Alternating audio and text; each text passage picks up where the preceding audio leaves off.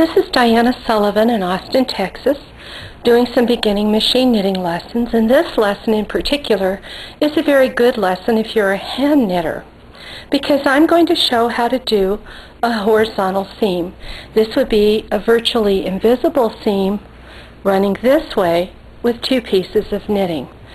I have this brick color as my main garment yarn on the sample, and the cream color is waste yarn that I'm going to discard. Now normally if I were going to do this seam, I would use the matching yarn to do the stitching. However, to make it a little easier to see, I'm going to thread my tapestry needle with the contrasting yarn. So I have some blue yarn here that I'll do the seam with. I like to do the Kitchener stitch seam from the wrong side. So let me flip these over so that you can see the wrong side of the knitting. And in addition to flipping them over, I'm going to tur turn the scrap yarn under so that the last row of stitches is very visible. You can see these individual brick colored loops coming out above the last row of the cream colored loops. And I would begin by going from the wrong side to the right side through the, through the first loop at the end of a row. And then I go from the wrong side to the right side, or excuse me, I go from the right side to the wrong side. I go this way. So I've gone in a straight line with these two samples matched up this way to make the first stitch. The second stitch I'm going to go in this in this sample through the second loop, in other words the next unused loop, and then go back through the first loop on this on this one, and it's a, a loop I've already used. It already has blue yarn in it. I do recommend that when you practice, try it the first time with some contrasting yarn. Now you don't pull this really tight like you would if you were hand sewing. This is going to be very much like a row of knitting being put in. So that's the amount of tightness that you want. And you can achieve an invisible seam with a little bit of practice. So there's the, the next stitch. I go from a new stitch beside the one I just came out of into the last stitch I used on the other side.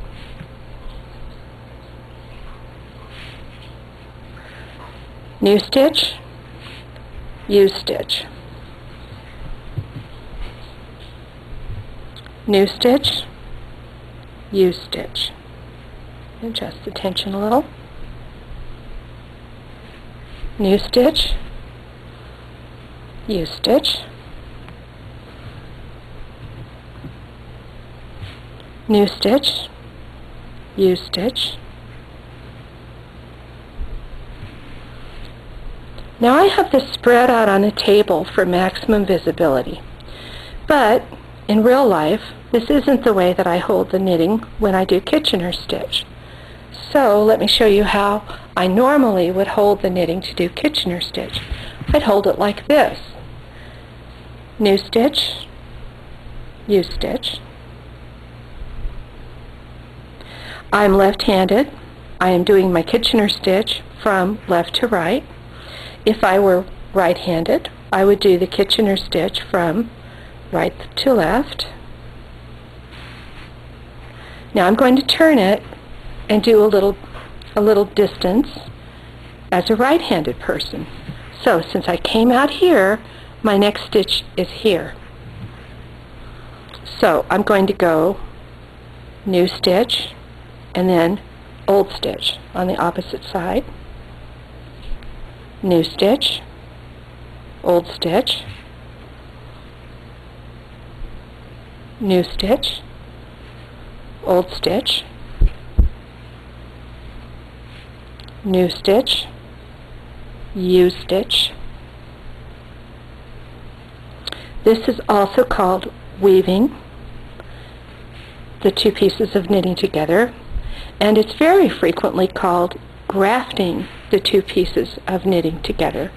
But the most common name for this is Kitchener stitch, which is spelled K-I-T-C-H-E-N-E-R, kitchen-er, and it is, it is a beautiful seam. It is one of the two basic seams that you really must know as a beginning knitter so that when people look at the things you knitted, they won't know you're a beginner. They'll think that you do beautiful, beautiful finishing work, which is key to having your things turn out well. And one of the most critically judged things if you go to any kind of a judged show. Now I recommend that you practice this you can use a contrasting yarn.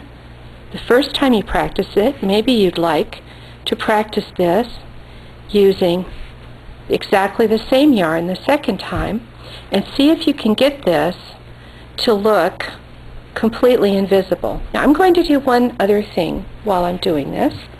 I'm going to pick up the next stitch and I am going to go out to the right side of the yarn. Because this can also be done from the right side. I'm going to cut this waste yarn away so that I can fold it under and show the technique. I virtually always do this from the wrong side, but I just want you to know that it can be done from the right side. In fact, I first learned it doing it from the right side, and I think being on the right side and being able to see the length of the individual little stitches gave me an opportunity to learn to get my tension just beautiful on this. See, I'm going into the V of a stitch, and then I'm coming out the middle of a V of the next stitch. And then I'm going to the other side, in where I came out, and going under two threads.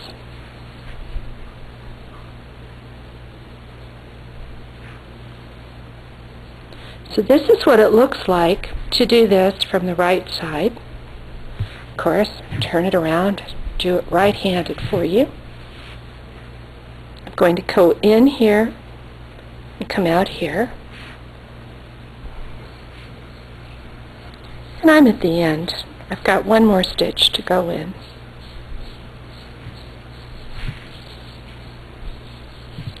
Now let me get the scrap yarn off so that you can see what I have.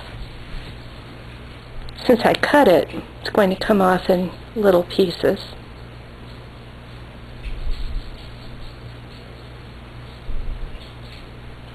The needle would be good for grabbing these.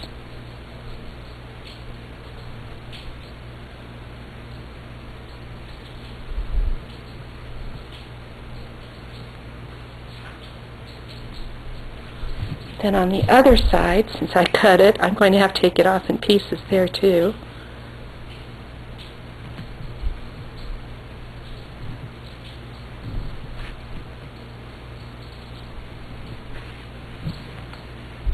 There's one piece of scrap yarn removed. Let me get the other one.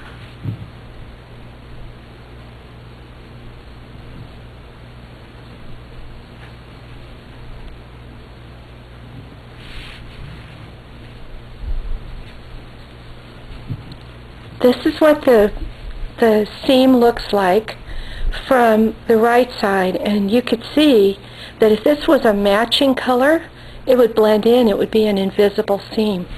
And this is what the seam looks like from the wrong side. Again Kitchener stitch or grafting the knitting